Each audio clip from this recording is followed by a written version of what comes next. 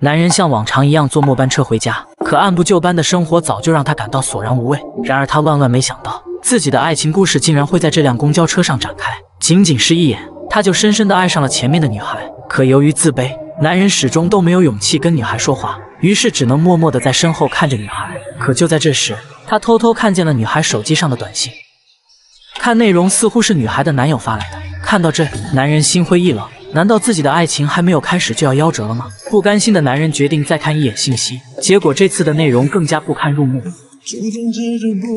他绝望极了，只能无助的看着窗外。但在好奇心的驱使下，他再次看了一眼消息，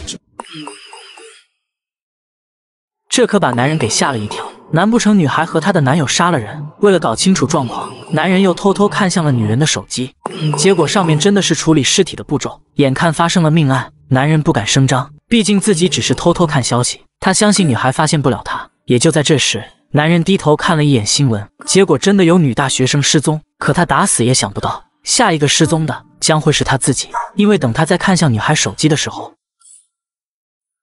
这可把男人吓得够呛。原来女孩早就发现男人在后面偷看，可男人却依旧觉得根本不可能，也许只是个巧合，于是便再次望向了手机。